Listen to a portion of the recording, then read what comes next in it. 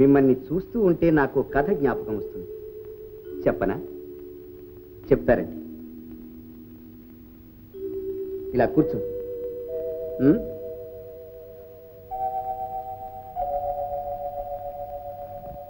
వినండి. అనగనగా అవంతి అనే ఒక రాజ్యం. ఆ రాజ్యాన్ని పాలించే మహారాజుకు ఇద్దరు కుమారులు. అందులో చిన్న కుమారుని పేరు జగదేక వీరు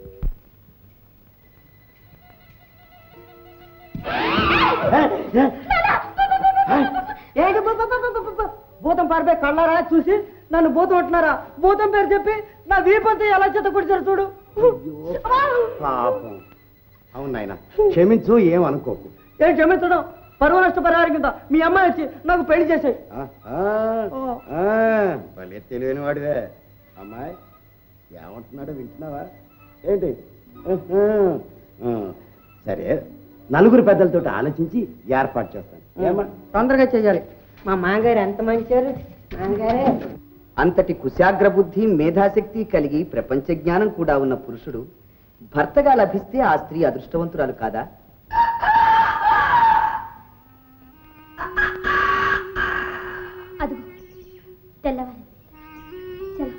అలాగే.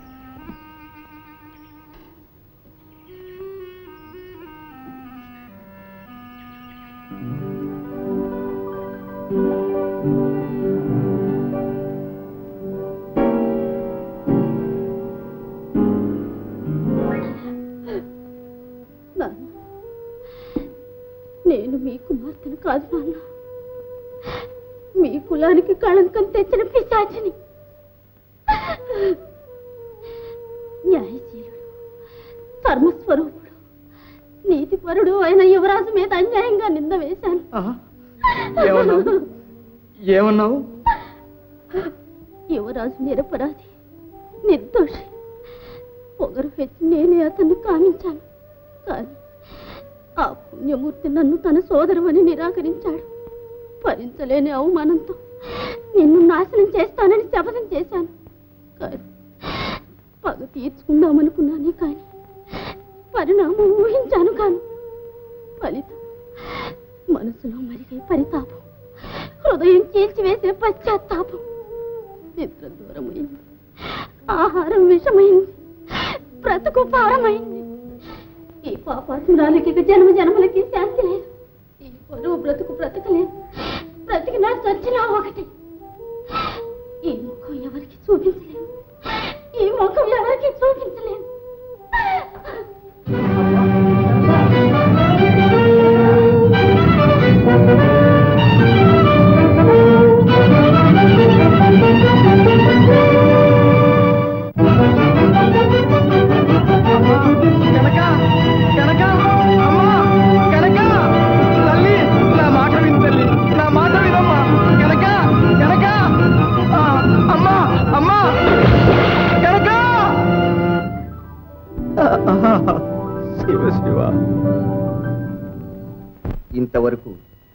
జగదేక వీరుడు గులేబకావలి గొల్లభామ మంగమ్మ శబదం గురువుని మించిన శిష్యులు మొదలైన కథలు విన్నారు ఈ రాత్రి వీటన్నిటినీ మించిన మంచి కథ చెప్పన?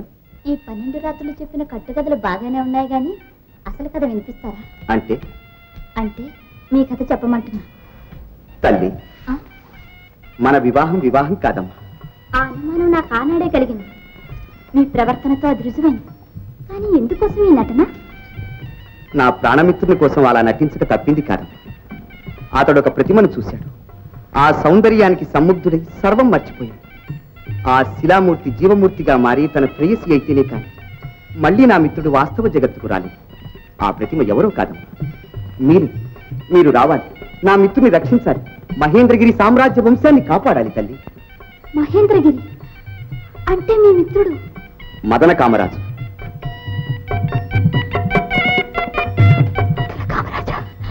మీరు వచ్చి అతనికి ప్రాణదానం చేయాలి. నిజానికి మీదే నాకు ప్రాణదానం చేశారు.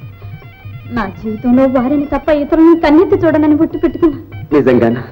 నా అన్నగారి బలవంతం మీద ఈ వివాహాలకు అంగీకరించాను విషం తాగి. చావు రాలేదు. నాకు భగవంతుడు అన్యాయం చేయడని ఆశ కలిగింది. ఆ ఆశ నేడు నిజమైంది. ఖడ్గానికి మాల వేయించి బ్రాహ్మణ స్త్రీతో మాంగళ్యం కట్టించినప్పుడే ఏదో ఉందనుకున్నాను. ఈ శోభనం గదిలో మీరేమైనా చొరవ తీసుకుంటే ఆ క్షణం ఆత్మహత్య చేసుకునేదాన్ని. కానీ మీ ప్రవర్తన నన్ను నిదానించమన్నది. నిదానించాను. నా కళలు నిజమైనాయి. నా కళలు నిజమైనాయి. అక్కడ నా మిత్రుడు మీకోసం తప్పిస్తున్నాడు. ఇక్కడ మీరు నా మిత్రుని కోసం తప్పిస్తున్నారు. మీ ఇద్దరి ఆనందం కోసం నేను తప్పిస్తున్నాను. నా కృషి సఫలం చేసినందుకు మేము అభినందిస్తున్నానమ్మా. నా జన్మ తరించి ఇక ఆలస్యం చెయ్యవద్దు వెంటనే బయలుదేరిపోదాం పదండి. అలాగే. తక్షణం బయలుదేరదాం. నేను మీ మేలు ఎన్నటికీ మర్చిపోలేను. ఆ రాజకుమారుని మింగడానికి ముందు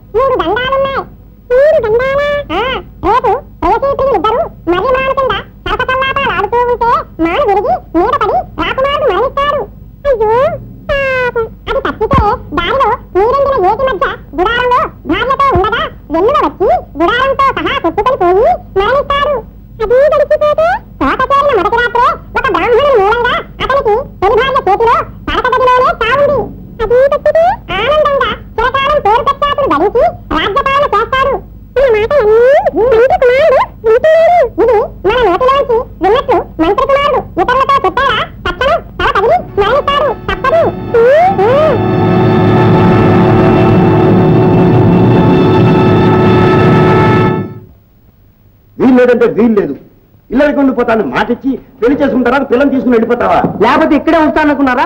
కష్టపడి పెళ్ళి చేసుకున్నాను నా పెళ్ళాన్ని మా ఊరు తీసుకెళ్తున్నాను. మధ్యన మీరెవరు అడగడానికి ఎంత మాగారైతే మాత్రం? ఆ. ఒరే ఆ పిల్ల నా ప్రాణం రా చిన్నప్పుడే తల్లి చచ్చిపోతే అల్లారు ముద్దుగా ఈ చేతులతో పెంచాను రా మామగారు నేను మీ అల్లుని ఒరే గిరి అంటే ఒప్పుకోను. మీకు ఇష్టం లేకపోతే మీ అమ్మాయి మీ ఇంట్లో ఉంచుకోండి నేను వస్తాను. నన్ను వదిలేసి వెళ్తున్నారు ఏమిటండి? అదేమిటండి వెళ్తానంటారు? మీరెక్కడుంటే నేను అక్కడే ఉంటాను నేను వస్తాను మీతో. ఆ మాట అంటావో లేదో అనే చూస్తున్నాను. అమ్మాయి నీకు ఇష్టం లేకుండా ఎక్కడ తీసుకుపోతున్నాడో అనుకున్నాను కానీ అమ్మా మీరిద్దరూ సుఖంగా ఉంటే అంతకంటే నాకు కావాల్సింది ఏంటి? మామగారు మరి మా ఇద్దరిని మీరు మనసారా దీవించి పంపించండి. చిలకా గోరింకల్లా చిరకాలం జీవించండి. మామగారు ఎంత మంచివారు? మామగారు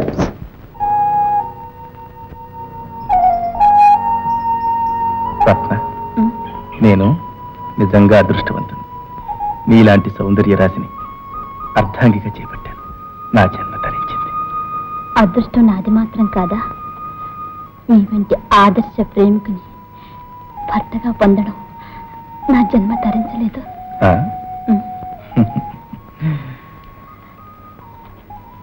అబ్బా. ఆనందంలో ఎంత హాయి ఉంది. సర్వ ప్రపంచం పరవశంతో ఊలాడుతున్నట్టుంది. నిజమే. తీరిన కోరికలు ఫలించిన ఆశయాలు. పరిపూర్ణమైన మనసు అదృష్టవంతులకే గాని అన్యులకు దుర్లభం.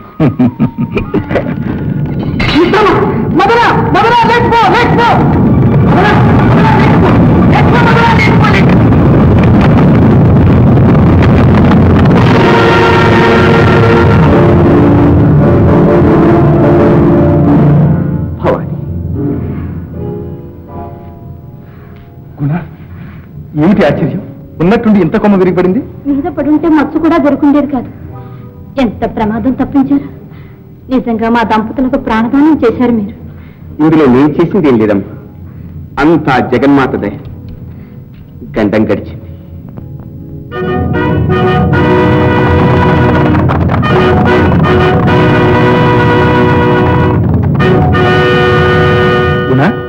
ఎవరది?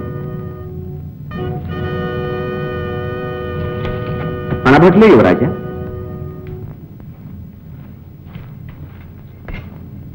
యువరాజా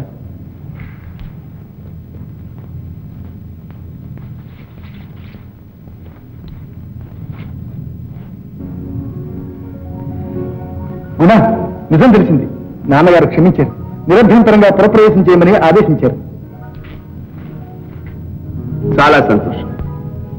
సేనాపతి మేము వస్తున్నామని వారికి తెలియచి.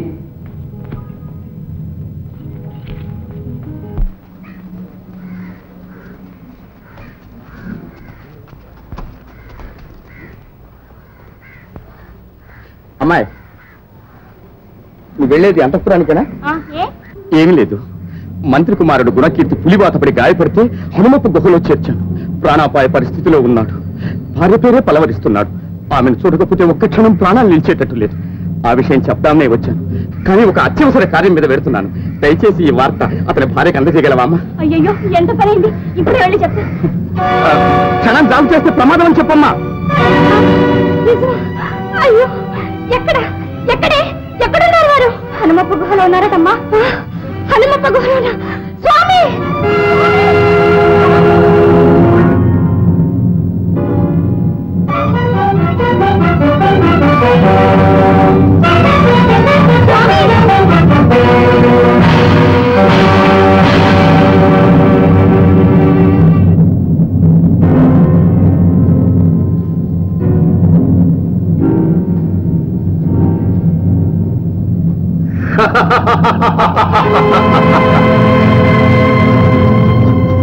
ఎవరు మీరు? మా వారేది? వీరి. ఇక ఈ భూతపతే నీ పతి. మందారవల్లి పతి కోసం పరితపించిపోతున్నావు కదూ? నీ పతి నా ప్రాణేశ్వరి బాహుబంధంలో తేలి ఆడుతున్నాడు నువ్వు నా బాహుబంధంలోనికి రా. దగ్గరకు రా. మందారవల్లి నిజంగా నువ్వు అందాల జాబిల్లి నీ యవ్వనం అడవి దాచిన వెన్నెలవుతూ ఉంది చూచి నీ మీద దయదలిచాను రా నీ కలలన్నీ నిజం చేస్తాను. రా మందారవల్లి నోర్మయ్ కులసతి ముందు ఈ కారు కూస్తావా? నీకు సిగ్గు లేదు? ఏమన్నా? సుందరి పులి నోట చిక్క.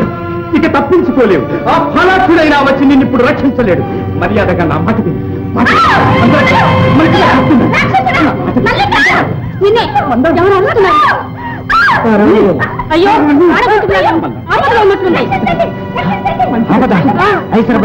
ఆ కారం